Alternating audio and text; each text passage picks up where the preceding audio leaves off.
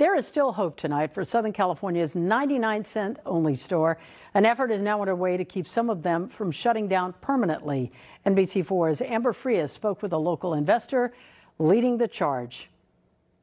The 99 cent store. Customers rush into a 99 cents only store in Pico Rivera as they prepare for the chain's closure. Everyone is going to feel not having the store open anymore. For many, the store has been a lifeline, offering affordable prices that stretch tight budgets. Fabric software now, I'll pay $20 for a huge thing, and here I'm paying $5 for it. The chain is set to close all 371 locations nationwide, but there's a glimmer of hope for 143 Southern California stores. I said, okay, let me see if I could put together a group of people to buy this this chain. Mark Miller, CEO of Pick and Save Bargains and former president of Big Lots, is hoping to save the beloved bargain store. He's put together a team of investors who want to continue the chain's commitment to the community. It's going to still be oriented on food, consumables, uh, general merchandise, seasonal. His plan is to save the stores by going back to the basics. It was a treasure hunt. It was you never knew what you were going to find.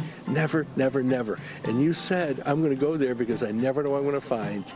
And I can also find some good basic stuff. Miller says bargain stores have struggled due to them trying to compete with traditional stores rather than embracing their unique appeal. That customer wants to be surprised if I said you, if you walk into a number of stores, sometimes you can close your eyes and you're in the same store.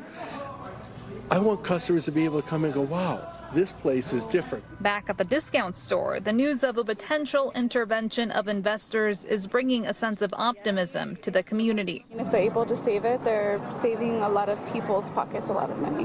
Hopefully, it can be rescued. As customers cling on to the hope that their beloved 99 cents only store will stay open. Amber Frias, NBC4 News.